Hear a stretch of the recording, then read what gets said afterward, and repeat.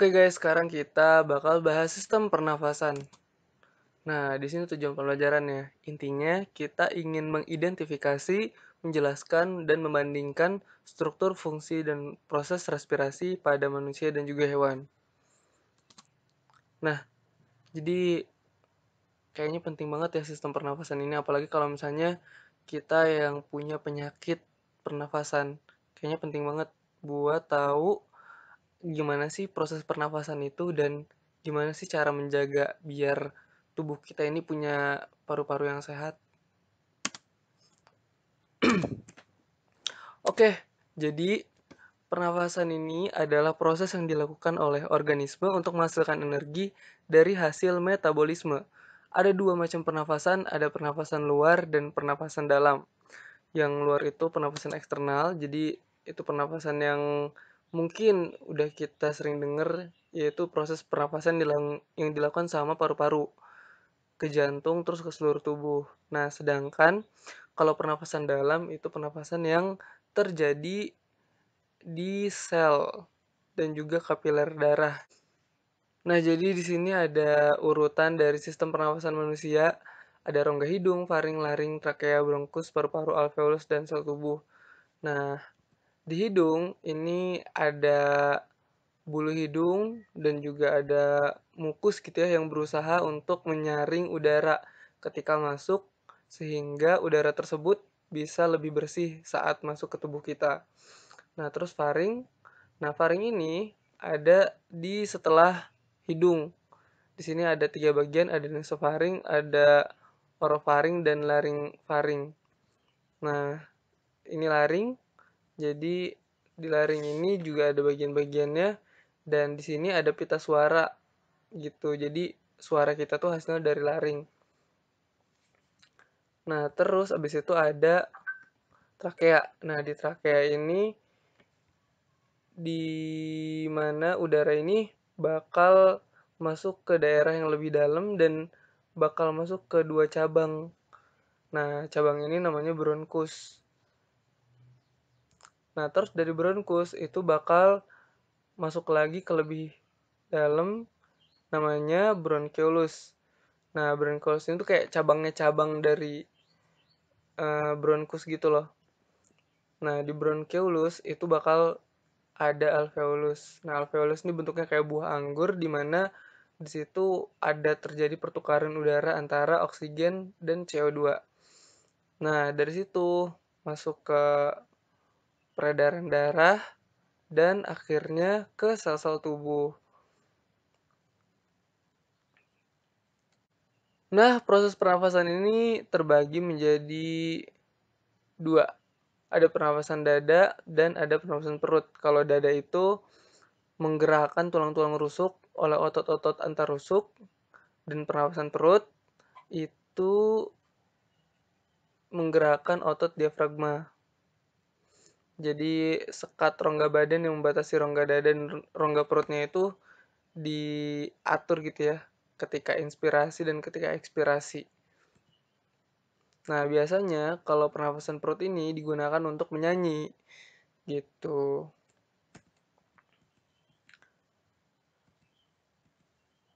Nah, inspirasi itu apa sih? Inspirasi itu terjadi ketika otot-otot antar rusuk melakukan kontraksi, sehingga tulang-tulang rusuk dan tulang dada terangkat ke atas. Nah, ketika terangkat ke atas, akhirnya rongga dada ini membesar. Saat rongga dada membesar, maka tekanan udara ini akan berkurang dan tekanan udara yang di luar itu akan lebih tinggi daripada yang ada dalam tubuh sehingga udara akan masuk ke dalam tubuh. Nah, sedangkan ekspirasi itu kebalikannya. Jadi kalau ekspirasi itu otot-otot tulang antar rusuk itu akan relaksasi terus abis itu tulang rusuknya akan turun dan akhirnya jadi semakin kecil rongga dadanya. Sehingga menyebabkan tekanan udara di sana akan semakin tinggi dari lingkungan sekitar dan akhirnya udara pun akan keluar. Kayak gitu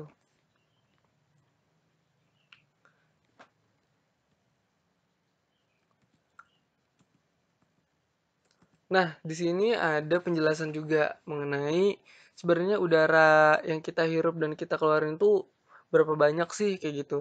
dan ternyata ada istilah-istilahnya.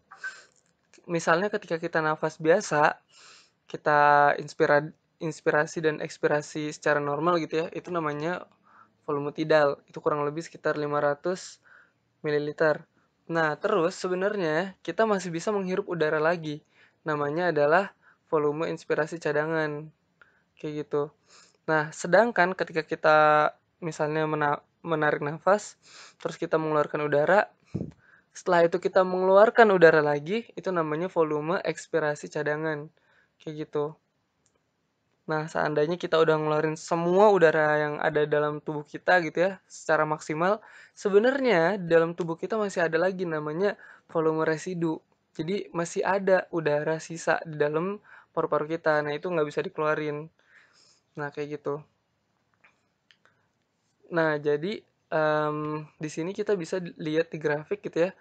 Ini udara yang masih bisa kita hirup namanya volume inspirasi cadangan. Ini udara normal yang kita hirup. Ini tergantung sama umur, sama jenis kelamin, sama pekerjaan dan lain-lain kayak gitu. Jadi ini beragam banget kalau volume tidal. Nah, terus volume yang kita keluarin tadi namanya volume ekspirasi cadangan dan volume udara yang tersisa di dalam tubuh itu namanya volume residu atau sisa. Nah, kalau dijumlahin itu namanya kapasitas vital. Kayak gitu. Terus kalau misalnya kita pengen ngejumlahin dari yang volume tidal sama volume inspirasi cadangan itu namanya kapasitas inspirasi. Kayak gitu nah sebenarnya dari proses pernafasan ada pertukaran gas O2 dan CO2 dalam tubuh. Pengangkutan oksigen dalam tubuh ini dilakukan oleh plasma darah dan juga hemoglobin. Sebagian besar oksigen diangkut oleh hemoglobin dalam bentuk oksimioglobin dan juga oksihemoglobin. Cuman beberapa persen aja oksigen yang terlarut dalam plasma. Nah, jadi kurang lebih reaksinya akan seperti ini. Hemoglobin ditambah oksigen jadi 4 HBO2.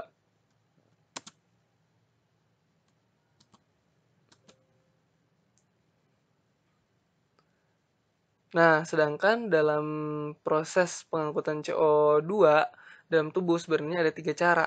Soalnya CO2 ini ada beberapa jenis juga. Ada yang CO doang, ada yang CO2, ada yang CO3 min. Nah, di sini dijelasin secara lebih mudah dengan bentuk gambar gitu ya. Di mana udara CO2 ini dari sel jaringan yang sudah mengalami respirasi gitu ya akhirnya mengirim CO2-nya ke sel darah, terus abis itu diikat dengan hemoglobin, terus abis itu dibawa pergi.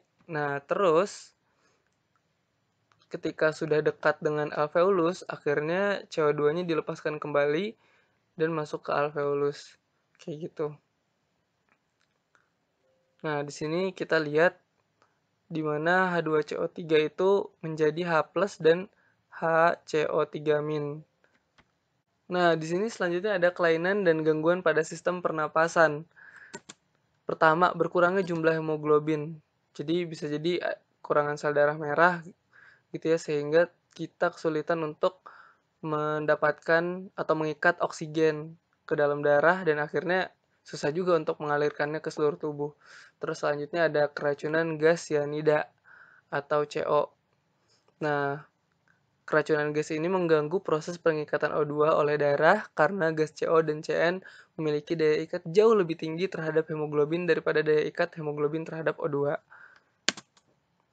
Ketiga ada kanker paru-paru. Nah, biasanya dipicu oleh polusi udara dan polusi asap rokok yang mengandung hidrokarbon termasuk benzopiren.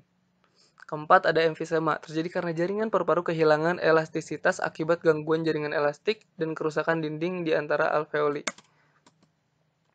Kelima, ada kanker paru-paru. Terjadi akibat penyempitan saluran pernafasan.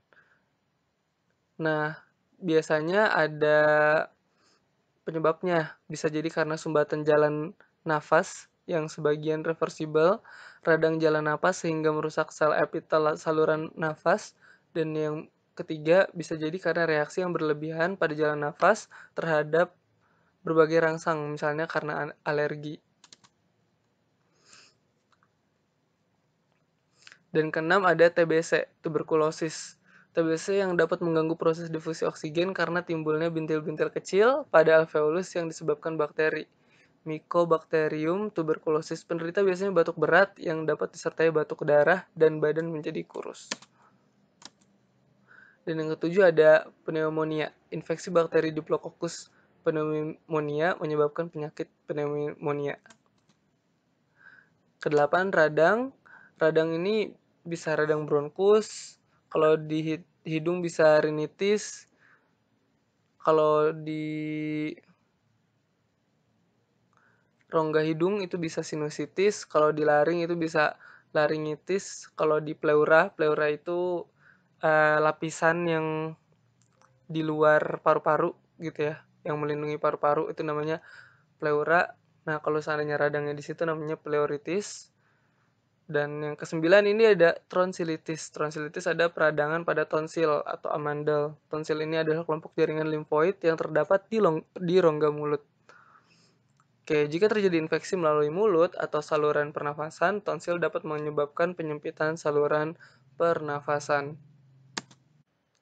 Nah, selanjutnya kita bakal ngebandingin dengan sistem pernafasan hewan. Di sini ada pernafasan insekta. Jadi insekta insekta ini serangga bernafas dengan menggunakan tabung udara yang disebut trakea. Nah, di sini contohnya kayak ada anjing tanah ya. Nah, terus di sini kurang lebih bentuk trakea kayak gini. Ada otot, ada trakeola, ada pembuluh trakea, Terus di sini ada spiracle dan sel epitelium. Dan di sini ada pertukaran antara oksigen dan juga CO2. Nah, selanjutnya ada pernafasan pada ikan. Jadi ikan bernafas dengan insang yang terdapat di sisi kanan dan kiri kepala.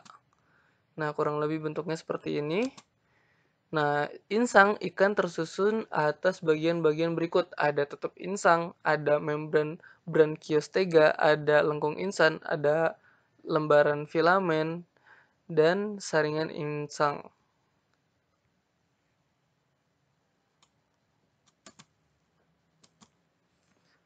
Selanjutnya ada pernafasan pada amfibi.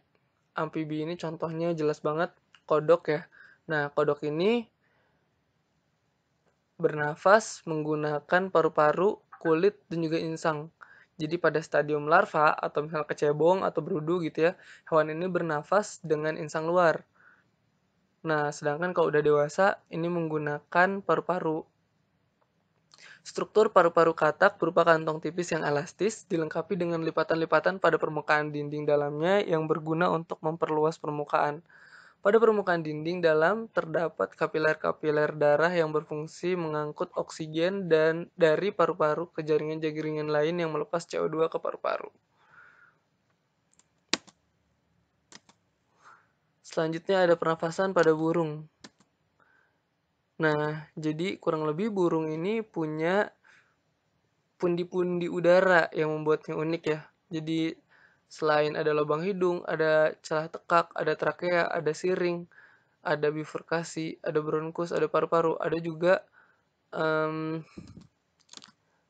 pundi-pundi udara ini yang bisa kita lihat. Nah, di sini ada kantong udaranya, ada kantong udara belakang, ada kantong udara depan gitu ya. Jadi si paru-parunya ini lebih terbantu ketika menyimpan udara yang mana ini akan membuat burung itu jadi lebih ringan kayak gitu. Oke, okay, thanks for watching. Uh, bisa di like dan subscribe buat ngedukung channel ini. Bye.